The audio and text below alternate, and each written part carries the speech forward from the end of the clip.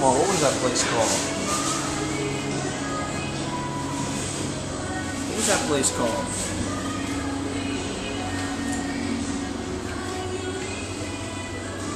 Charlie's. Maybe. Something with Charlie's. What was it called? Wine and Spirit Shop, Shelter Cove. Charlie's. It was right next to the Piggly Wiggly. Oh, you're right. That is the place where it was. Yeah, it was up in that shop shopping center where Food and Wiggly is. And